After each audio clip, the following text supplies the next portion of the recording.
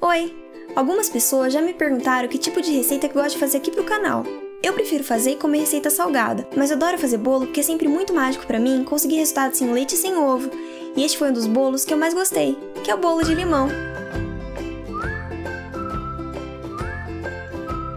Pré-aqueça o forno a 210 graus Celsius e em uma vasilha, coloque 2 xícaras de farinha de trigo, 1 xícara de açúcar cristal, meia xícara de óleo vegetal, 3 quartos de xícara de água, 1 quarto de xícara de suco de limão, 2 colheres de chá de raspa de limão e misture tudo até ficar uniforme.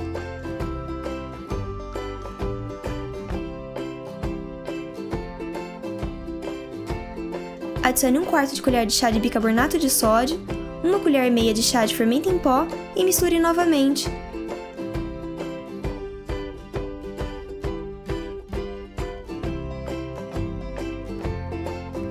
Despeje a massa em uma forma untada com óleo e farinha e asse por cerca de 40 minutos ou até o bolo ficar douradinho. Para a cobertura, misture meia xícara de açúcar de confeiteiro com duas colheres de sopa de leite de coco ou três se você preferir mais molinho, e jogue raspas de limão para decorar. Está pronto!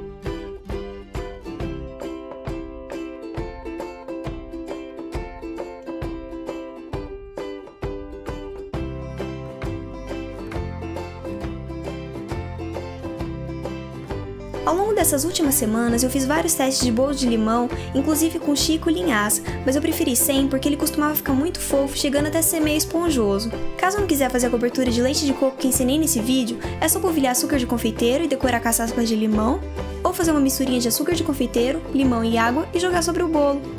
Confira essa e outras receitas lá no nosso blog. Siga a gente também nas redes sociais. Espero que gostem e bom apetite!